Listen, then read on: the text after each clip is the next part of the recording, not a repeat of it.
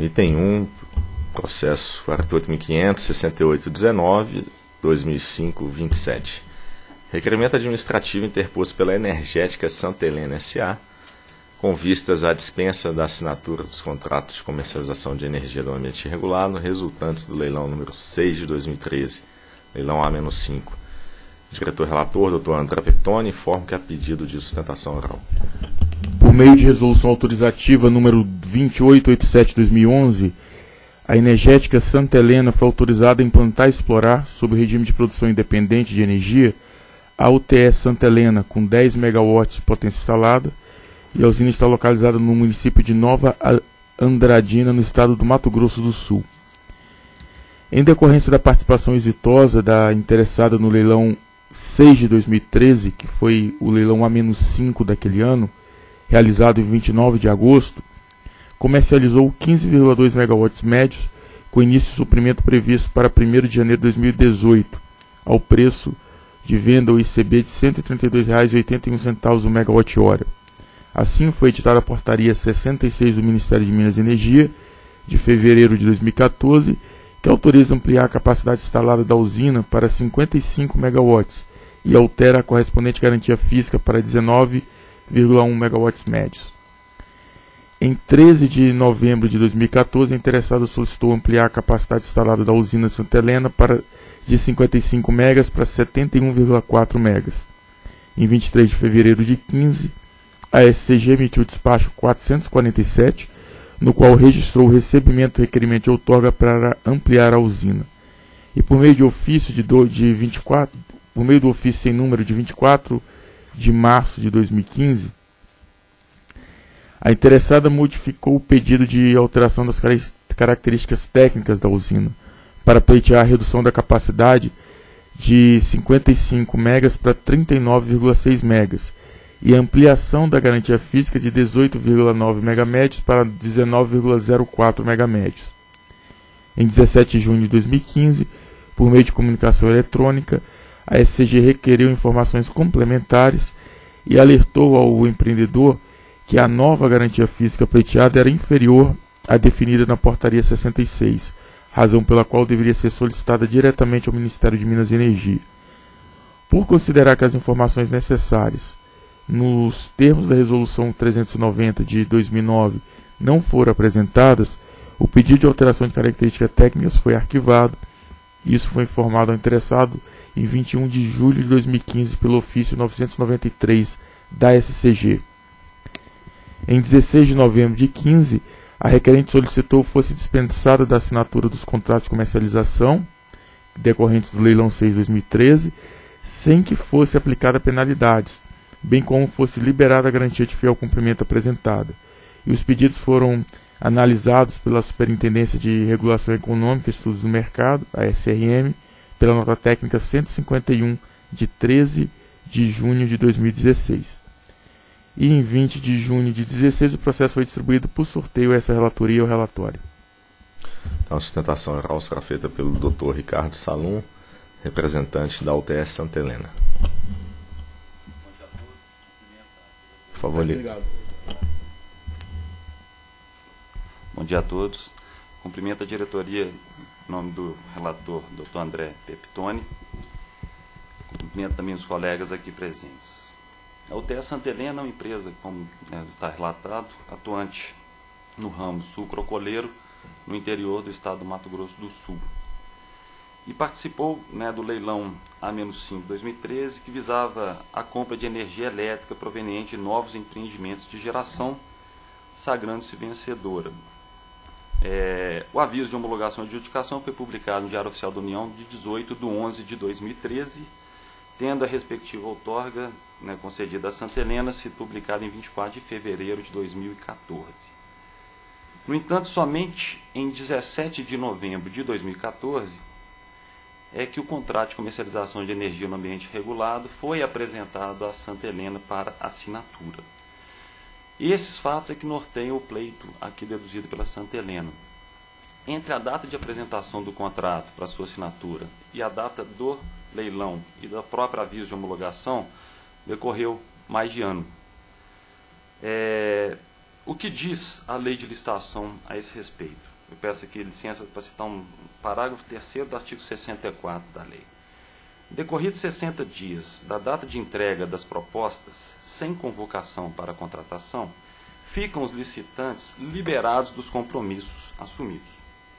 Então, aqui no caso, a gente tem um inequívoco atraso de mais de ano para apresentação do contrato, e é por isso que o pleito visa né, legitimamente a recusa da assinatura desse contrato sem que nenhuma penalidade seja aplicada à empresa.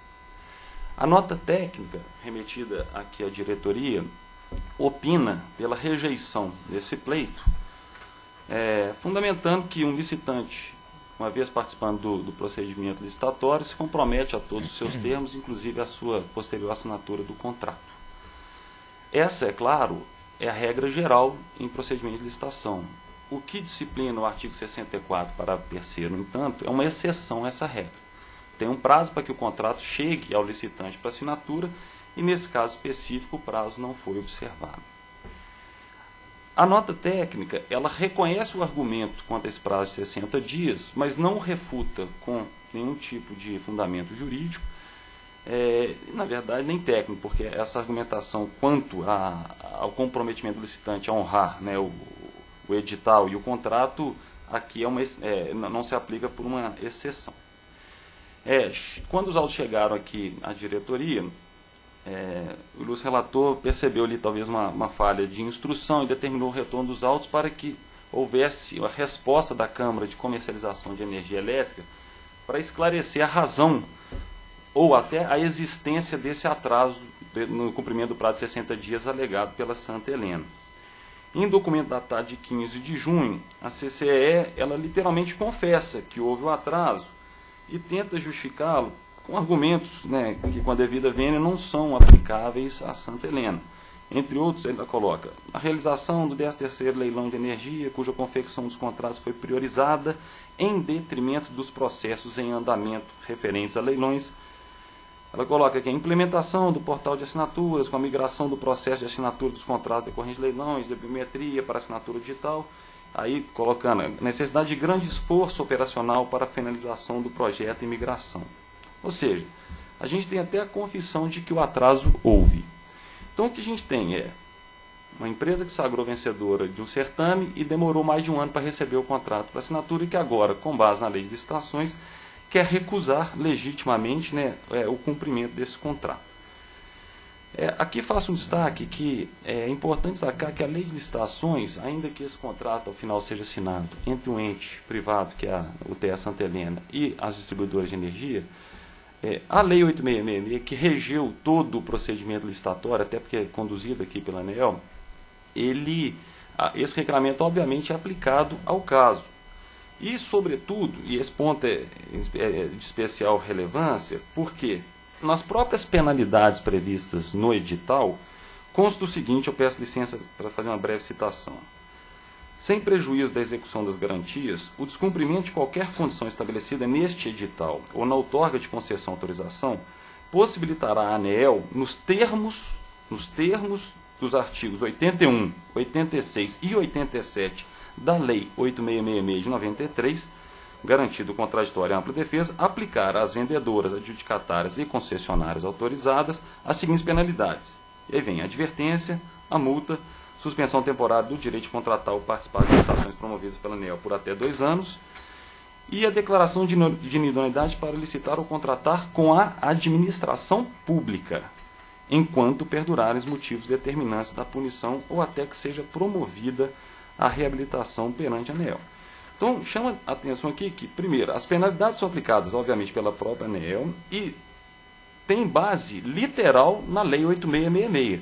Então, a lei não pode servir para apenar a empresa de um lado e de outro não dá a ela o direito de recusar, como a própria lei permite, a assinatura de um contrato tardiamente apresentado a ela. É, é nesse contexto que a Santa Helena espera né, o acolhimento do seu pleito né, para que o contrato não, não, não lhe seja imposto e muito menos as suas penalidades. E apenas aqui, a título de argumentação, fica também o pedido é, numa remota hipótese de condenação, de que ela não venha nos patamares sugeridos pela própria nota técnica, que, entre outros, na parte pecuniária, está impondo uma multa de 10% sobre o valor né, declarado do empreendimento, que representaria, nesse caso, a multa de 16 milhões e meio de reais. E faz isso por quê? Primeiro, porque esse contrato, a quantidade de energia prevista, não vai trazer nenhum tipo de impacto no setor. A empresa hoje ela passa por um processo de recuperação judicial e a imposição de uma multa né, dessa magnitude certamente acarretará sua quebra e ceifando empregos, né, geração de tributos, de riqueza. E tem aqui o agravante também que o caso tem uma, uma particularidade que, a, pelo menos no entendimento da empresa, há essa legítima possibilidade de recusa. Então, numa remota hipótese de condenação, é, o que se espera é que a multa não seja balizada nos 10%, ou, ou mesmo que não seja executada a garantia de fiel cumprimento, mas sim, como permite a lei e o próprio edital, em patamares mínimos. Só para comentar, a, a, penalidade começa a partir de 0,001%. Né? Então, com essas considerações, a gente espera, espera o acolhimento do nosso pleito. Obrigado, Procuradoria. A Procuradoria opina pela presunção de juridicidade da decisão a ser proferida pela diretoria. A interessada argumentou que, nos termos do parágrafo 3 do artigo 64 da Lei 866, de 21 de junho de 93, foi o que o representante da empresa leu. Decorridos 60 dias da entrega das propostas, sem convocação para a contratação, ficam os visitantes liberados do compromissos assumidos, razão pela qual não poderia ser compelida a assinar ou muito menos se submeter aos termos de contrato de comercialização de energia no ambiente regulado, que lhe foi tardiamente apresentado. Defendeu ainda que a lei das licitações admitiria a desistência da proposta quando fundamentada em motivo justo ou decorrente de fato superveniente.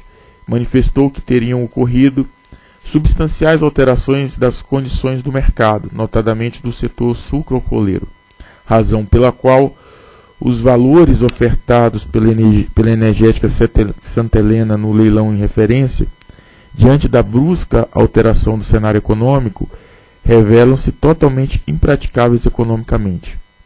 Afirmou que não assinará o contrato 18555, pelo que manifesta sua expressa desistência com relação a esse contrato, que foi objeto do leilão 6-2013. E com esses fundamentos requereu fosse declarada a dispensa da assinatura do contrato, fosse acolhido alternativamente o pedido de desistência da proposta e fosse afastada a aplicação de qualquer penalidade e liberada a garantia de fiel cumprimento. De início, senhores diretores, observa-se que os resultados do leilão 6 de 2013 foram homologados por meio de aviso de homologação e adjudicação publicado em 18 de novembro de 13, e consoante informação apresentada pela CCE mediante o ofício 1443 de 15 de junho, a geradora somente iniciou o procedimento de adesão à Câmara em 9 de janeiro de 2014, 52 dias após a adjudicação, e concluiu a apresentação da documentação em 18 de abril de 14, 152 dias após a adjudicação. Em relação ao processo de confecção dos CCARs, a CCE apresentou a seguinte, o seguinte histórico que em 20 de fevereiro de 14 enviou um comunicado específico para todas as contrapartes, informando o cronograma do processo de confecção e assinatura dos contratos e a necessidade de encaminhamento dos dados contratuais até 28 de fevereiro daquele ano, ou seja, 2014. Em 11 de junho de 14, por meio do chamado 84534, a geradora questionou o motivo pelo qual os CCRs ainda não haviam sido disponibilizados. Em 16 de junho, a CCE informou que ainda estava pendente o envio de dados pela geradora para a confecção do contrato. E em 20 de junho de 14, pelo chamado 85421, a geradora enviou os dados para a confecção do contrato. Em 17 de novembro de 14, por intermédio de comunicado específico, a CCE comunicou que os CCARs estavam disponíveis para assinatura desde 14 de novembro mas que era necessário enviar dados para cadastro de signatários no portal de assinaturas da CCE pelos agentes setoriais que ainda não haviam enviado. E em 7 de janeiro de 15, pelo chamado 113794, a geradora cientificou que, que disponibilizar as informações dos signatários no sistema de gestão de processo, após o que os representantes indicados foram cadastrados com representantes da Santa Helena. Assim, percebe-se que a geradora, com quanto titular de autorização para explorar serviço de geração de energia elétrica desde maio de 2011, somente iniciou o processo de autorização à CCE em janeiro de 14 e complementou as informações necessárias à assinatura em janeiro de 15. Percebe-se, portanto, que os atrasos em relação à data estimada no cronograma do leilão, não, da não, a não disponibilização dos CCARs para assinatura, foram causadas pela própria geradora e não pela CCE. Assim, entende-se que, que o caso deve ser analisado à luz do princípio da, da boa-fé objetiva e da não proibição, que veda o exercício do status jurídico em contradição a comportamentos anteriores. Assim, reputa-se inadequado que a recorrente sistematicamente atrase ou não apresente informações necessárias à elaboração e à disponibilização dos instrumentos contratuais, para que, na sequência, em atitude contraditória que quebra o princípio da confiança que deve balizar todas as relações contratuais, pleitear a liberação da obrigação de comercializar energia elétrica livre e espontaneamente assumida ao participar e sagrar-se vencedora do leilão que foi realizado. Acresce-se que a assinatura do CCAR corresponde a uma das etapas próprias do leilão, como previsto no edital no item 4.2.16. Percebe-se, pois, que assinar os decorrentes CCAR, e aqui é um conceito que já está pacificado por esse colegiado em diversas é, decisões tomadas aqui por esse colegiado, que a assinatura do, do, do, contrato decorrente de leilão não é uma faculdade do agente. E tivemos um julgamento aqui muito expressivo da relatoria do doutor, doutor Reive, que foi a, o leilão, o primeiro leilão de vigilância solar realizado em 2014, onde foi muito debatido essa questão de mérito sobre a obrigatoriedade ou a faculdade da assinatura dos CCARs. Então, a, o que ficou pacificado no colegiado da ANEL é que a assinatura dos CCARs decorrente de leilão realizado é obrigação incondicional, irrevogável e irretratável. Verdadeiro compromisso assumido pelos participantes do certame, reiteradamente fixado no edital, e aqui a gente transcreve alguns trechos do edital que levam a essa, essa análise, a esse mérito, a esse entendimento. Dessa maneira, na esteira da manifestação da SRM, na nota técnica 151 de 2016, julga-se que alegar alterações das condições do mercado, notadamente do suco alcooleiro, ou do cenário econômico nacional, não desobriga a geradora do cumprimento das obrigações assumidas em decorrências da participação exitosa no leilão. Nota-se que o agente setorial expressamente afirmou que não assinaria os CCARs razão pela qual se deve fixar prazo para que o faça, sob pena de arcar com as consequências legais cabíveis. Então, com fulcro nessa análise, considerando que consta no processo 48.500.006819-2005, dígito 27, voto por conhecer dos pedidos apresentados pela Energética Santa Helena para dispensar a assinatura do CCAR resultante do leilão 6 de 2013 e no mérito negar-lhe provimento e vota ainda por fixar até 10 dias, contado da publicação dessa decisão, para que a Energética Santa Helena assine o ICCAR decorrente do leilão número 6, sem prejuízo da imediata instauração, sem prejuízo da instauração de processos administrativos para executar a garantia de fiel cumprimento, aplicar as penalidades cabíveis e revogar a autorização para ampliar a capacidade instalada da UTS Santa Helena. É o voto. Em discussão. É, aqui eu acho que ficou claro no, no voto do doutor André que é, pela demora em se filiar à CCE depois de apresentar as informações, evidentemente a responsabilidade é do agente.